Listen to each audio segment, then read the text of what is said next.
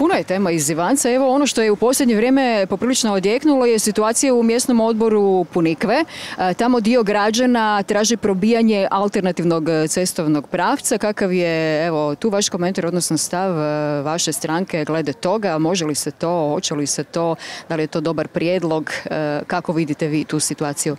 Pa gledajte, ne traže one probijanje alternativnog pravca. Znači, taj pravac već postoji koliko mi znamo. Znači, to je takozvani jezerski put, to je županijska prometnica koja bi išla izvan naselja.